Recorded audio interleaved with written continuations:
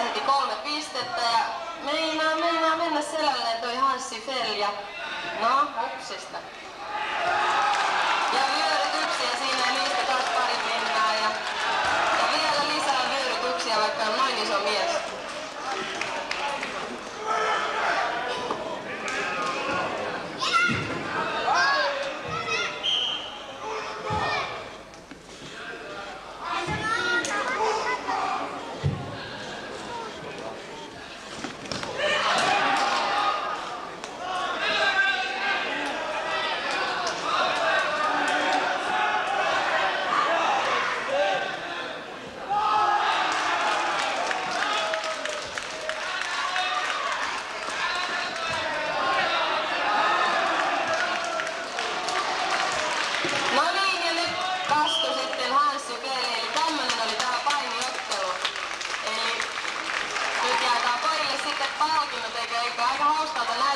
Vaikka olisi ajatellut, että noin iso mies, niin